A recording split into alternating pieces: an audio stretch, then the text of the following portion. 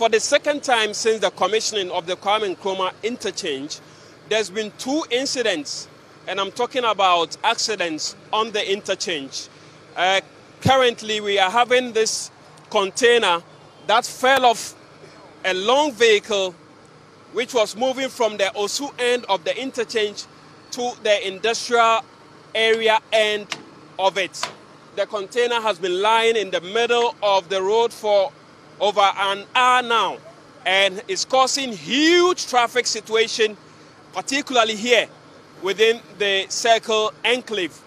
And we are having the Ghana National Fire Service, the NADMO officials, road safety officials, and officials of the Ghana Police Service here trying to get the container off the road. But just so you get a better understanding of how close the container was from falling onto the other side of the road, you would find from my extreme end, and the situation, I must say, is extreme, so I wouldn't dare going close to that end. But just inches away, that would have been catastrophic.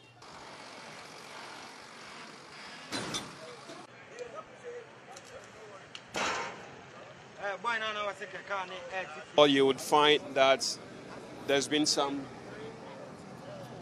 uh, damage to the road as a result of the accident. We have NADMO, we have the police, and we have the Ghana National Fire Service trying to fix the situation. Uh, let's let's get a word from the commander. It is presumed the holdings on the track wasn't strong enough. When they put such containers on track, they are supposed to be very solid holdings. We presume he did not have all those things. That's how come it fell. Fortunately, there weren't any car, other cars around. Otherwise, there would have been fatalities, considering the weight and then of the container. Do we know what is contained in the container? For now, no, but we've gathered some information on the container and we are making calls to find out what exactly is in there. When we got here, since the driver wasn't here, we were just told that they are taking some raw materials to the industrial area, which is uh, of rubber nature. But we haven't seen it, and the correct information will be given when the, the guy whose number we had on the container gets back to us.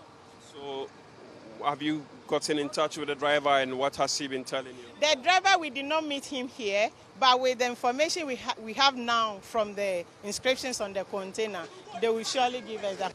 What I have gathered is that NADMO, that is the National Disaster Management Organization of Ghana, does not have what it takes to lift the 40 footer container from the middle of the road.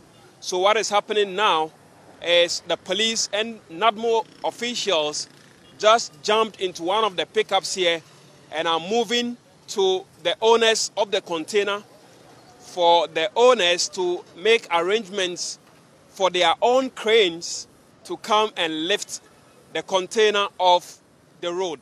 But in the meantime, uh, the Ghana National Fire Service, NADMO officials, and the police are trying so hard to move the long vehicle off the road. And that, I must say, is.